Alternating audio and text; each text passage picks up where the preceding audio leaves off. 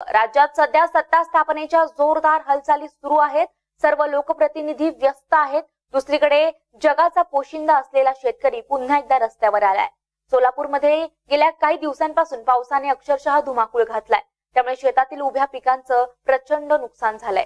जिल्ह्यातील थोडी थोडकी नव्हे तर तब्बल छत्तीस हजार हेक्टरवरील पिके पाण्यात गेली आहेत. त्यामुळे शेतकऱ्यांच्या स्वप्नांचा सुराडा झालाय. मान्सून सुरू झाल्यापासून सोलापूर जिल्ह्यात समाधानकारक पाऊस झाला नाही.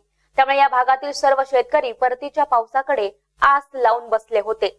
ऑक्टोबरमध्ये सोलापूरमध्ये सत्तर मिलीमीटर पाऊस अपेक्षित होता मात्र तब्बल एकशे चव्वेचाळीस मिलीमीटर पाऊस महिनाभरात झाला.